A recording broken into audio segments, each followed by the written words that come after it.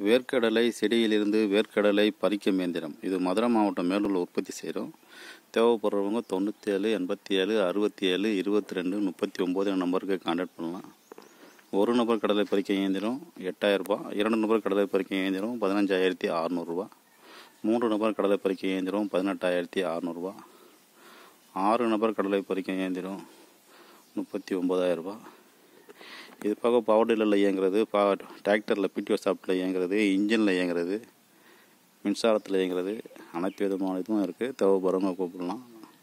நன்றி வணக்கம்.